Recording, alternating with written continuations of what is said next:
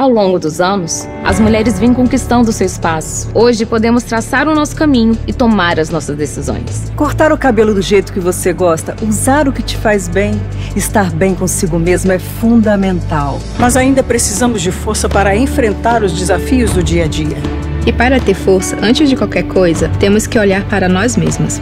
Conhecer a si mesma é a melhor forma de aprender a identificar quando algo não está certo. O câncer de mama e o câncer do colo do útero são dois dos tipos mais comuns entre as mulheres no Brasil.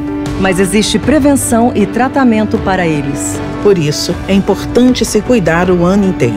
Mulher, seu corpo, sua vida. Ministério da Saúde, Brasil, União e Reconstrução.